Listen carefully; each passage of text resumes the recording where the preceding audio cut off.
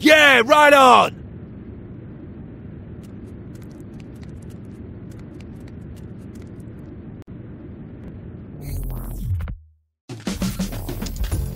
I'm not late to the briefing, am I? We haven't started yet.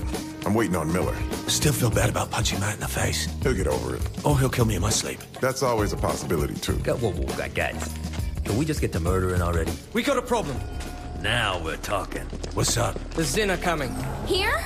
That's probably why he said it's a problem. Next time you should run. Watch out! They're using some sort of suppression grenade. They're probably trying to counteract your powers. Powers, no powers. Doesn't matter, they're dead. We can murder later. Right now we need to get the plan back on track. Whatever the plan was, it went out the fucking window. We need to focus on surviving.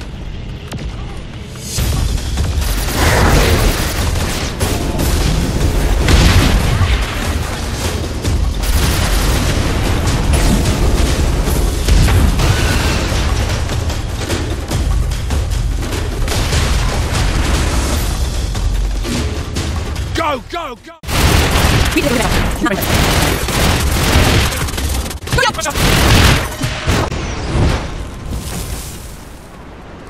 Everyone okay? We walked away, right? Oh, look, a cat. Is this a pet store? God, I wish it was. Super at.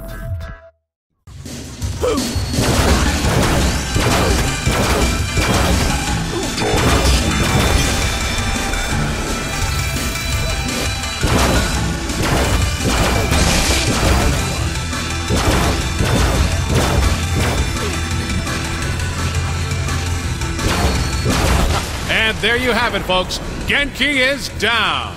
Down, but never out, Zach. So true, Bobby. So true.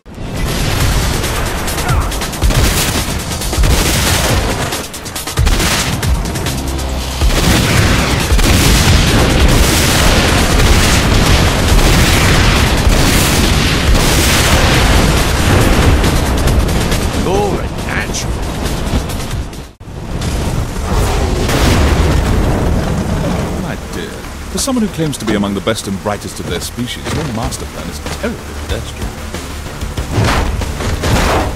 You alien fuck!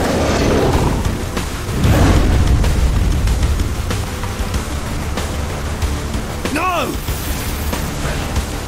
Boss, you need to get back to the ship, now!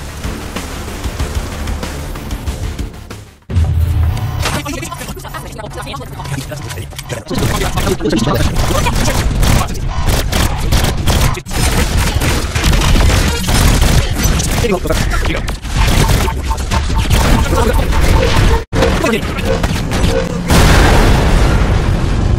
it up, you bum! That wasn't a bad fuck you to Zinyak. Now let's get out of here and find Kinzie. The circle of hell was reserved for betrayers. But it's important to remember that it's the storyteller who decides who the hero is, not morality. But while philosophers will spend years debating the ethics of the Kinzie Gambit, the Saints had a less charitable view. Keith David is a dead man.